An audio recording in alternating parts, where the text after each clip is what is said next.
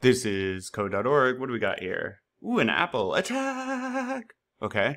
Changing fruit. Now that we know how to use if statements, you can do more than just check if the apple, if the apple has reached a scale of 2. You can turn it into a pear once it happens. Okay, so, okay. Use a conditional in the draw loop. We never checked if the apple has, yep, reached. Okay.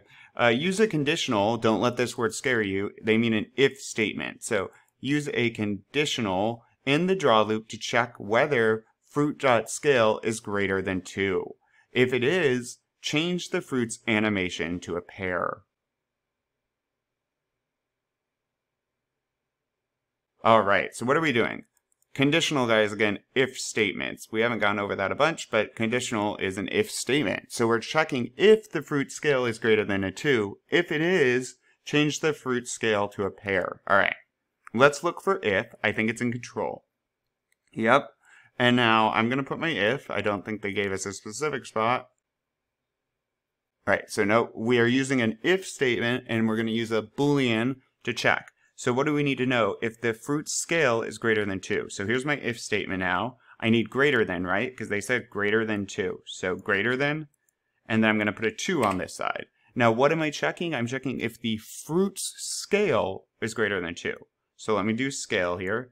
And keep in mind, since the draw loop runs 30 times a second, what's happening? Well, every time the draw loop runs, the fruit's scale is equal to whatever the fruit scale used to be equal to. So the first time it runs, it'd be 0.1 plus 0.01. So then it'd be 0.11, new value is 0.11. Draws a sprite, blanks out the screen with a white background, says, okay, fruit.scale has a new value, it's its old value. What did we just say? 0.11. Well, now it's point plus 0.01, so now it's 0.12. Its new scale is 0.12, which is 12% the normal size and it keeps looping 0.13, 0.14.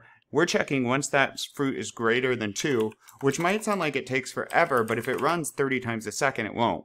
And what do we want to do when it's greater than 2? To a pear. Okay, well, how do we change an animation? We got to set it. So we can actually do that down here in the draw loop in our if statement. So the code in an if statement will only ever run if the thing is true. So if it is not greater than 2, the code in this blue mouth thing does not run. It does not execute. It does not happen. If it is greater than 2, then the, it says, oh, true. The computer says true. This is a true statement. The Boolean is true. It drops down and runs the code inside. Once it runs this code, it just continues on like normal. If this is false, it doesn't run the code inside. It goes beneath and runs and continues the code like normal. Let's check this out. You can also see here how fast it's changing. And boom. So one more time. It looks like it gets bigger but uh, suddenly, but that's just the pear being a different shape. Boom. Right there too. awesome. Onward. Ah, attack.